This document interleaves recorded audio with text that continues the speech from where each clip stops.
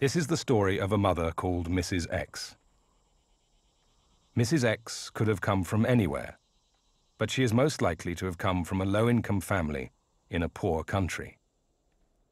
Mrs. X represents a universal mother.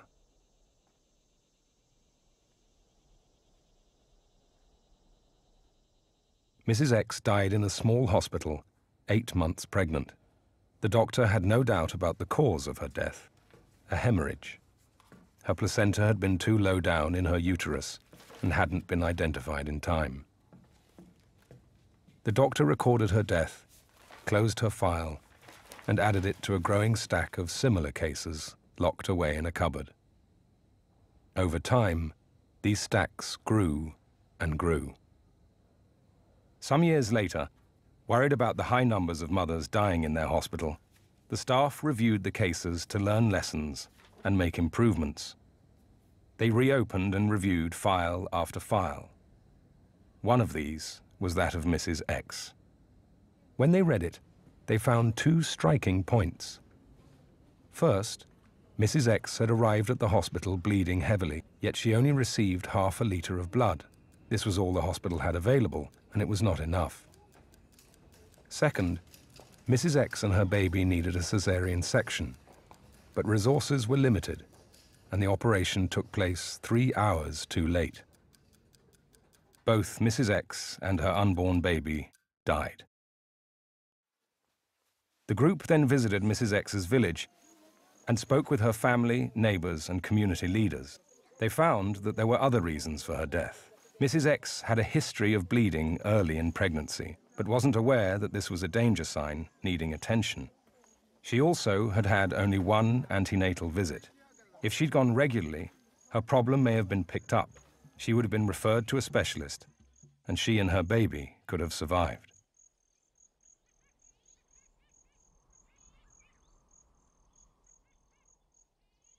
Mrs. X was also severely anemic, so the loss of even the smallest amount of blood, as little as a cupful, could have tipped the balance between life and death.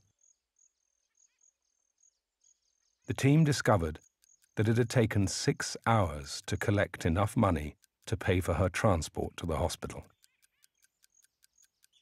As a result of these findings, the hospital improved their blood supplies, updated their emergency procedures, and caesarean sections could now be performed as soon as was necessary.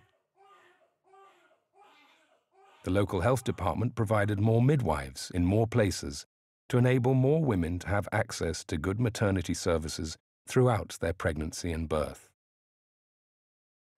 Mrs. X's file was closed again. A year later, a group of visiting health professionals came to the hospital as part of a national inquiry into maternal deaths.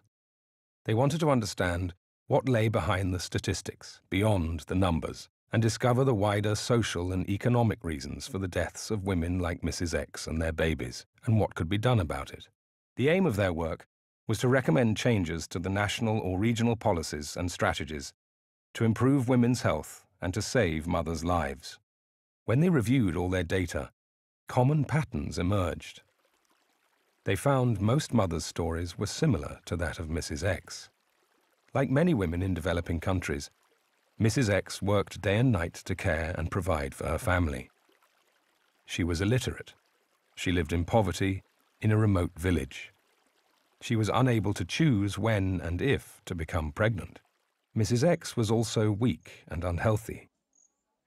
In her society, the male members of the family came first in the queue for food, for education, and for health care. Mrs. X often went without. For women like her, death or complications in pregnancy were, and still are, a real threat.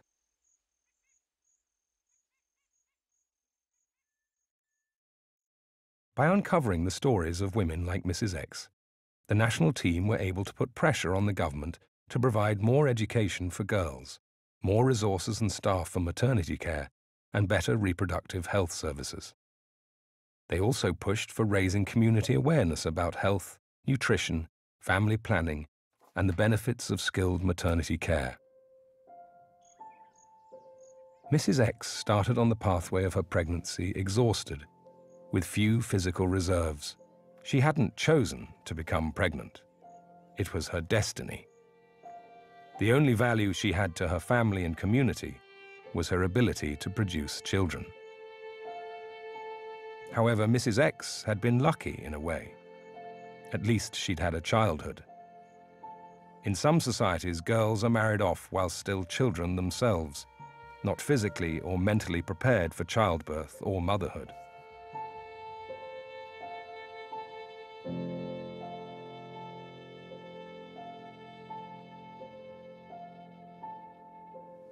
If Mrs. X had been treated as an equal to her brothers while she was growing up, she could have been healthier and better educated. If she'd had more control over her adult life, she may have been able to choose when she had children. As Mrs. X continued her walk through pregnancy, her prospects would have been better if she had visited a skilled professional health worker, a midwife or doctor. Even if Mrs. X had known the importance of antenatal care, her midwife was many miles walk away. If only Mrs. X's problems had been recognized and her anemia treated. If only she'd had specialist care in time.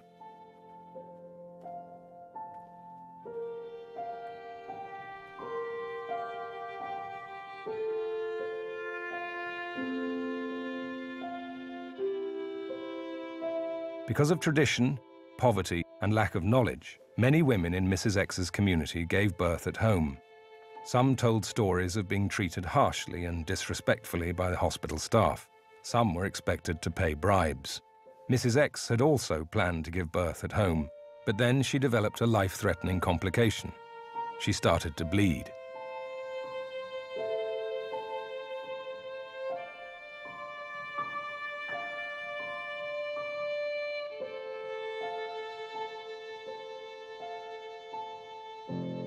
If Mrs. X had been referred and had transport in time to go to a hospital with facilities for providing comprehensive emergency obstetric care, such as equipment, well-trained staff, and enough medicines and blood, her life, and that of her baby, might have been saved.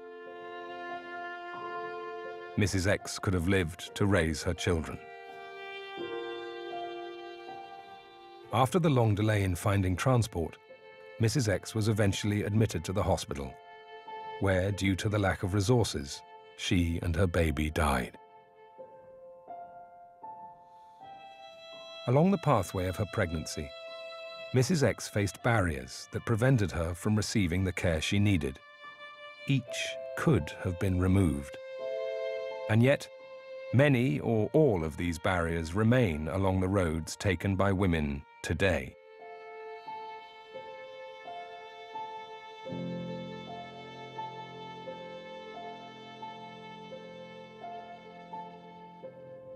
Mrs. X could be any woman.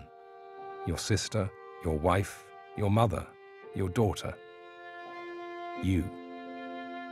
It is up to all of us, no matter where we live, who we are or what we do, to help remove these barriers for Mrs. X and the millions of pregnant women like her.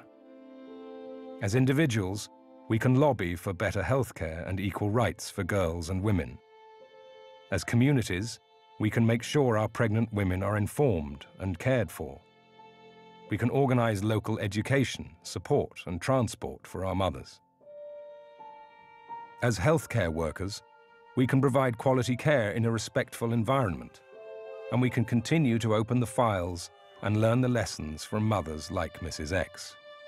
As local health planners, we can provide high-quality maternity and family planning services that reach out to more women. And as politicians and policymakers, we can strengthen human rights. We can improve education for girls and women. And we can provide the resources for better, more effective healthcare services across the world, wherever they're needed, now.